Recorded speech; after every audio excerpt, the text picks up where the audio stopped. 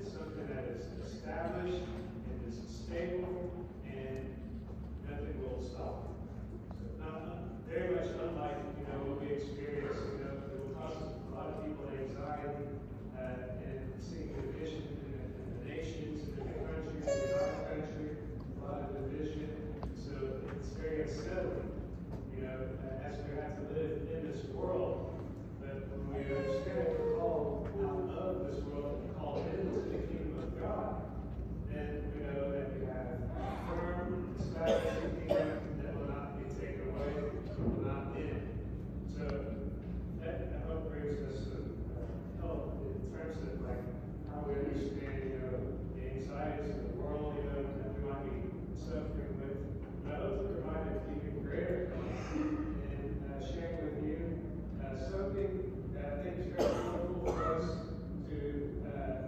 acknowledge Jesus is not just the, the king of the universe, but also the king of our hearts. You know, how we can surrender to him, the, his worship, and all that we deal with in our lives. And uh, we hear that that's when he has come, when he established his kingdom, he made a kingdom of priests. We all share in the common priesthood of the baptized. We're all called to make sacrifices. What is it that we have to sacrifice? What is it that God wants? And how is it that we can surrender to Him and say, You are my King. You have the final word. I will listen not to the noise or the lies of the world. I will listen to the voice of truth. And I will listen to you. You will have the last word. All that I have.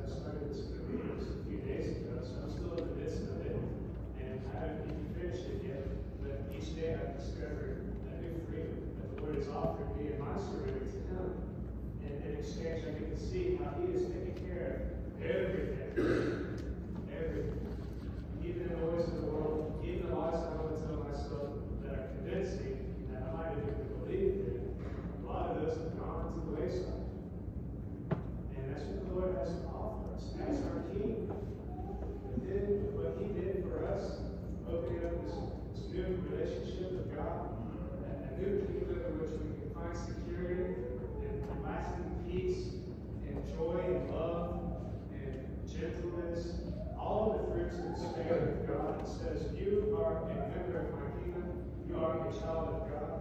And that is meant for us to not just experience here and there, you know, for an hour on Sundays, you know, for forever. And it's meant to develop within us this, this kind of confidence and conviction that He has gained for me. And He is the Lord. Who can take it from Him? Nobody. But unfortunately, we can surrender it to our fears and worries. So I recommend, I recommend the Surrender Novena, but especially the way that it ends, because it's very pertinent to whatever it is that we're harboring in our heart, whatever it is that our, our worries, our fears, our doubts, our concerns. These are all opportunities to say, Lord, you are the king of my heart, and I surrender all of this to you. Even our own sinfulness. It's not too much for him. That's what he, in fact, wants to take over from us. He wants to take over all of the things that hurt us. Why? So he can be the Lord of our hearts. What does that mean? Well, it means that his kingdom is here. And we say, yes, he has brought his kingdom here. And here it is in my life. And it is something simple that I think you can share with those around you. It's, uh, it's very common, you know, when we wake up, we wake up with a lot of concerns. A lot of the times, we don't even want to get out of bed because we know, we got some things to face today. We may not even understand all those things are. We just know that we've got a life to live, and that comes responsibility. But I promise you, if you begin your day with saying, Lord Jesus, I surrender myself to you. Take care of everything. Then you see how your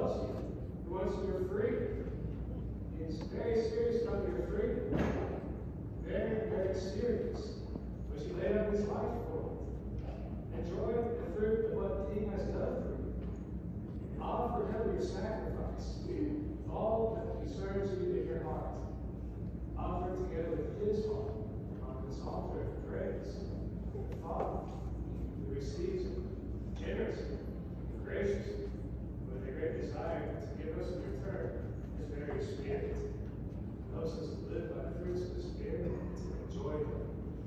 See, he wants us to enjoy the reality of heaven and of his kingdom here and now.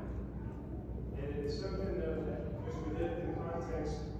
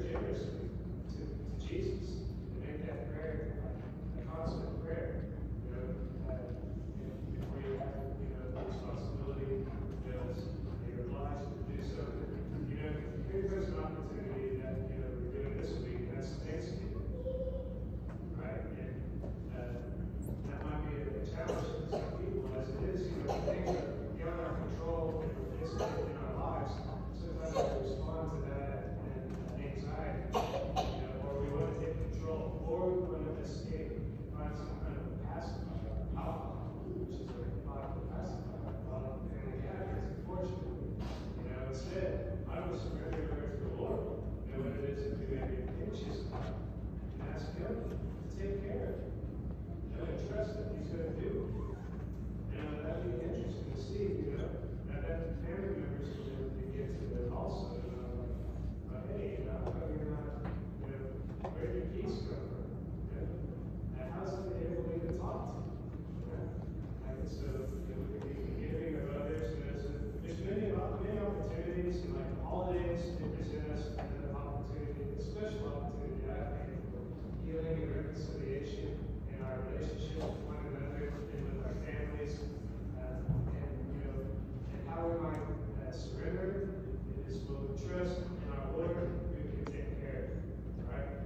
And so we let go of grudges, we can let go of the things that hurt us.